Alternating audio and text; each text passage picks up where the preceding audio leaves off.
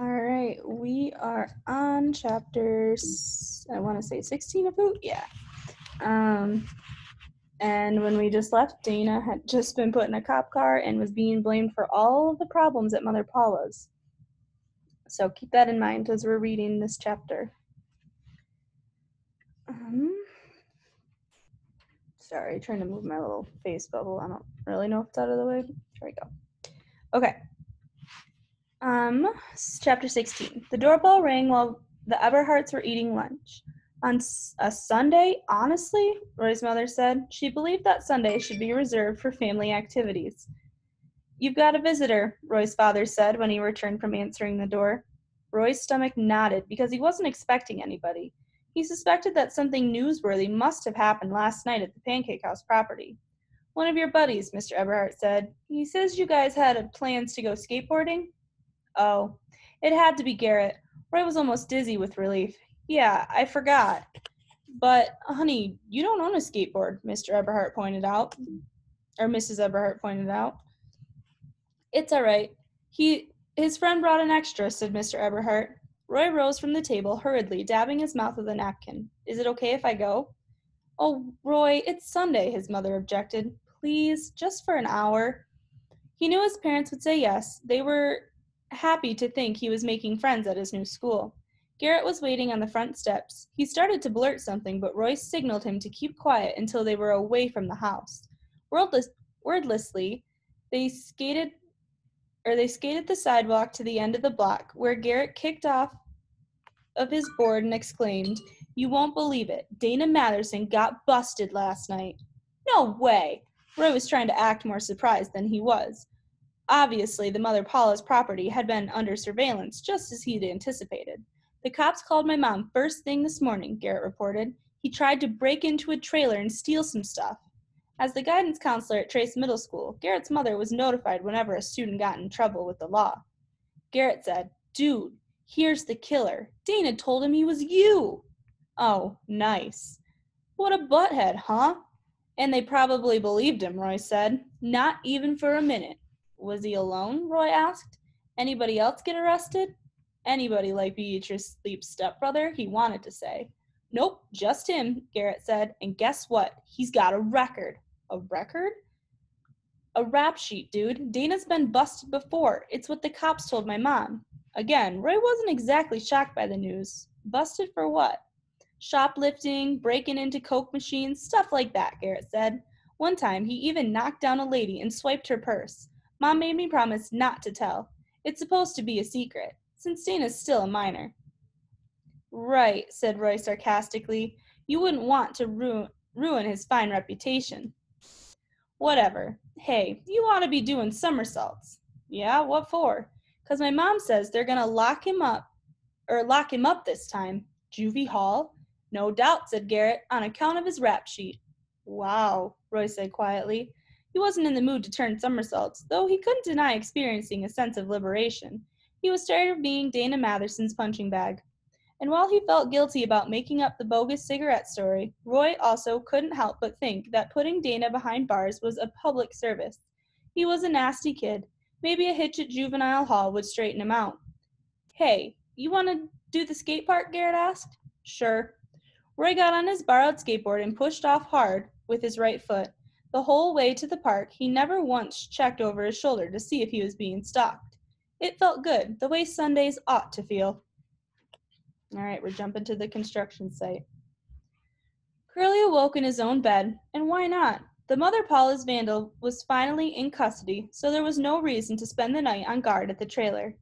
After Officer Delinko gave him a lift home, Curly had entertained his wife and mother in law with a blow by blow account of the exciting events.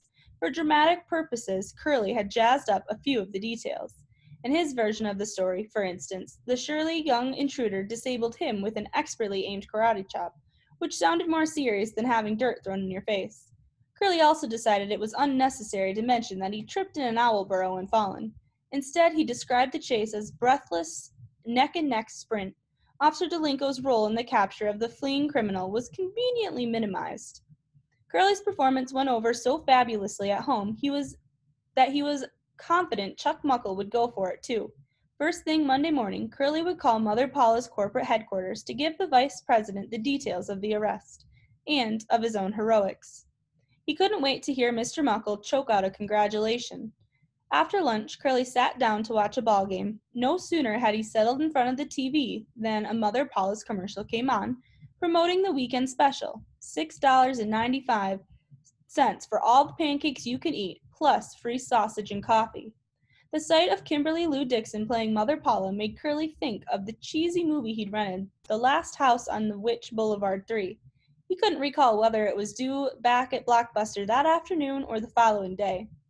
Curly hated play- paying late fees on video rentals, so he decided to go to the trailer and get the tape. On the drive there, Curly was distressed to remember that he'd left something else at the construction site his gun. During the night's commotion, he had somehow lost track of the 38 revolver. He didn't recall having it when he was riding in Officer Delinko's patrol car, so it must have slipped from his belt while he was scuffling with the kid outside the trailer. Another possibility was that he dropped it when he stepped into that darn owl hole. Misplacing a gun, a loaded gun, was a serious matter, and Curly was highly annoyed with himself. When he arrived at the fenced lot, he hurried to the area where he and the teenager had wrestled. There was no 38 lying around. Anxiously, Curly Curly retracted his steps to the owl den and pointed a flashlight down the hole. No gun. Now he was genuinely worried. He checked inside the trailer and saw that nothing had been disturbed from the night before. The door was too damaged to be reattached, so Curly covered the opening with two sheets of plywood. Then he began a methodical search, back and forth across the property, eyes glued to the ground. In one hand he carried a heavy rock just in case he encountered one of the poisonous moccasins. Gradually, a harrowing thought seeped into Curly's brain, chilling him like ice water. What if the teenage burglar had swiped the revolver from his waistband while he, they were fighting? The kid could have stashed it in a dumpster or tossed it in the bushes as he ran away. Curly shuddered and pressed out pressed on with the hunt. After about a half an hour, he'd worked his way down to the section of the property where the earth moving equipment was parked in the preparation for the site clearing. By this time, he'd almost given up hope of finding the gun, he was quite a distance from where he last remembered having it, and in the opposite direction from where the vandal had fled. Curly figured there was no possible way that the 38 could turn up so far from the trailer, unless an exceptionally large owl had picked it up and carried it there. His eyes fixed on a shallow depression in a soft patch of sand. The imprint of a bare foot, definitely human. Curly counted the toes, just to make sure. His eyes fixed on, er, sorry, the foot appeared to be considerably smaller than Curly's own, smaller, too, than those of the husky teenaged burglar. Farther ahead, Curly came across another footprint, and then another, and still another after that. The tracks led directly toward the row of earth moving machines, and Curly advanced with a growing sense of unease. He stopped in front of a bulldozer and shielded his brow from the sunlight. At first, he didn't notice anything wrong, but then it hit him like a kick from a mule. The driver's seat was gone. Dropping the rock that he'd been carrying for protection, Curly dashed to the next machine in line, a backhoe. Its seat had disappeared too. In a snit, Curly stomped toward the third and last piece of equipment, a, gar- a grader. Again, no driver's seat. Curly spat out a cuss word. Without seats, the earth moving machines were basically useless. The operators had to sit down in order to work the foot pedals and the steer at the same time. The foreman's mind was racing feverishly. Either the kid they'd caught last night had a hidden accomplice, or someone else had sneaked onto the property after Curly had departed. But who? Curly wondered in exasperation. Who sabotaged my equipment and when? Fruitlessly, he searched for the missing seats, his mood darkening by the moment. No longer was he looking forward to calling Mr. Muckle at Mother Paula's headquarters. In fact, he was dreading it. Curly suspected that the grumpy vice president would take great delight in firing him over the phone. In despair, Curly headed for the portable latrines. Having guzzled almost a whole pitcher of iced tea during lunch, he now felt like his belly was about to burst. The stress of the situation wasn't helping either. Curly armed himself with the flashlight and entered one of the travel and Johnny's, leaving the door slightly ajar in case a hasty exit was required. He wanted to be sure nobody had booby trapped the toilet and the foul tempered reptiles again, or with foul tempered tempered reptiles again. Cautiously, Curly aimed his flashlight down the dark hole of the commode. He gulped as the beam illuminated something shiny and black in the water, but upon closer scrutiny he saw that it wasn't an alligator. Perfect, Curly muttered wretchedly. Just perfect. It was his gun.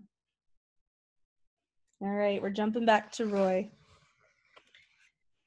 Roy was aching to sneak over to the junkyard and visit Mullet Fingers. He wanted to find out what had happened last night at Mother Paula's property. The problem was Roy's mother. She invoked the Sunday rule as soon as he returned from the skateboard park, and a family outing was la- launched. Making good on his promise, Roy's father took them out, or took them out the Tamiami Trail, maybe, to an Indian tourist shop that offered airboat trips through the Everglades. Roy ended up having a great time, even though the noise was so loud that it hurt his eardrums. The tall Seminole who was driving the airboat wore a straw cowboy hat.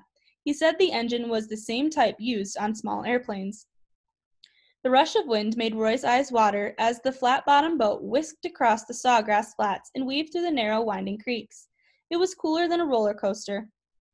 Along the way, they stopped to look at snakes, bullfrogs, chameleons, raccoons, opossums, turtles, ducks, herons, two bald eagles, an otter, and, by Roy's count, 19 alligators.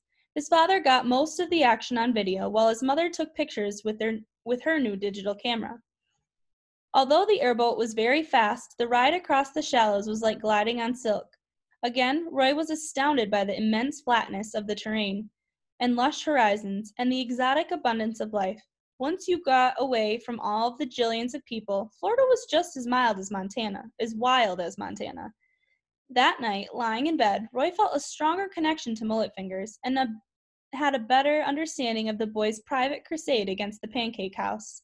It wasn't just about the owls, it was about everything all the birds and animals, all the wild places that were in danger of being wiped out.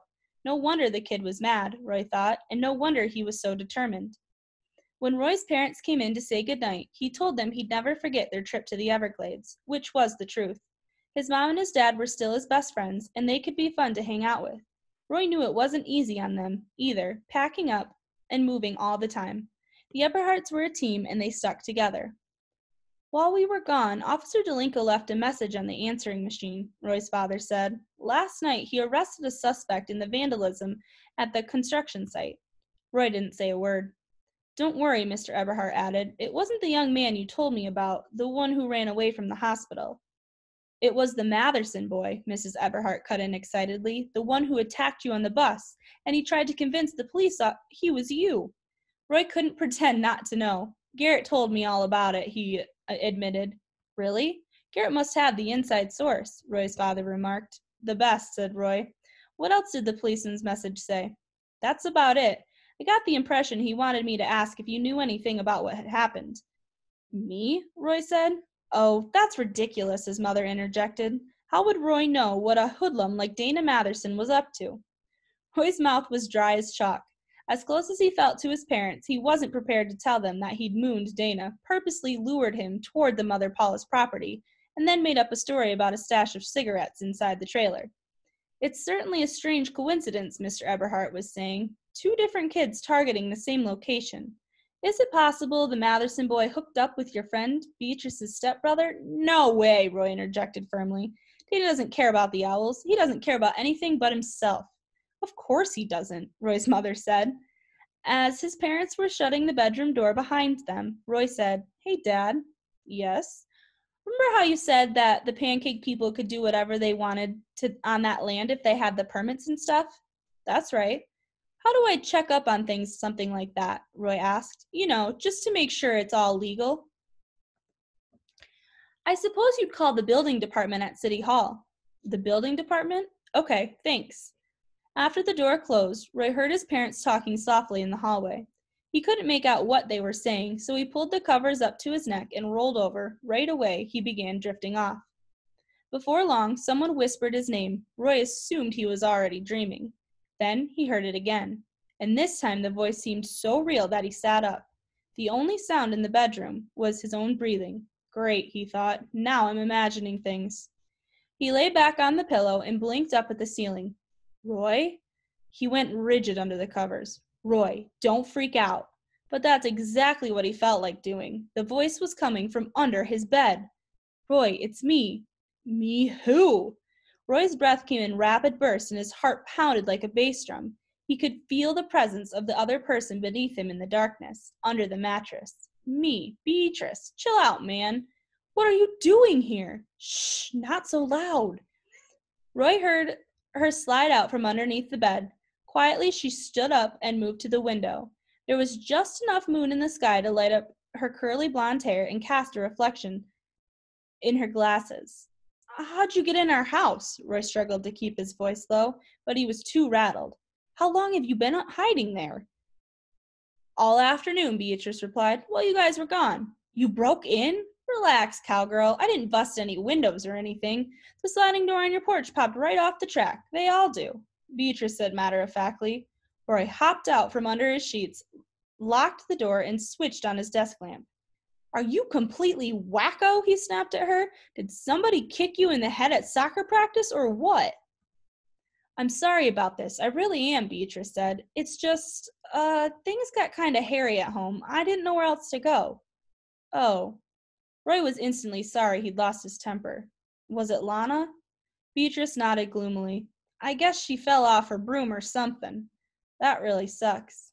Yeah, her and my dad got in a huge fight. I mean, huge. She threw a clock radio at his head, so he beamed her with a mango. Roy had always thought that Beatrice Leep wasn't afraid of anything, but she didn't look so fearless now. He felt bad for her. It was hard to imagine living in a house where the grown ups behaved so idiotically. You can stay here tonight, he offered. For real? Long as my parents don't find out. Roy, you're pretty cool, Beatrice said. He grinned. Thanks for calling me Roy. Thanks for letting me crash here. You take the bed, he said. I'll sleep on the floor. No way, Jose. Roy didn't argue. He gave Beatrice a pillow and a blanket, and she stretched out happily on the carpet. He turned off the light and said good night. Then he remembered something he meant to ask her. Hey, did you see Mullet Fingers today? Maybe. Well, he told me he had something planned for last night. He's always got something planned. Yeah, but this stuff can't go on forever, Roy said. Sooner or later, he's gonna get caught. I believe he's smart enough to know that. Then we've gotta do something. Like what? Beatrice asked faintly. She was fading toward sleep. You can't stop him, Roy. He's too darn thick headed. Then I guess we've gotta join him. Excuse me? Good night, Beatrice. That's the end of chapter 17. Um, I am going to have questions for you. Um, so please check under where the video is posted um, under Thursday work and please answer those for me. Thanks.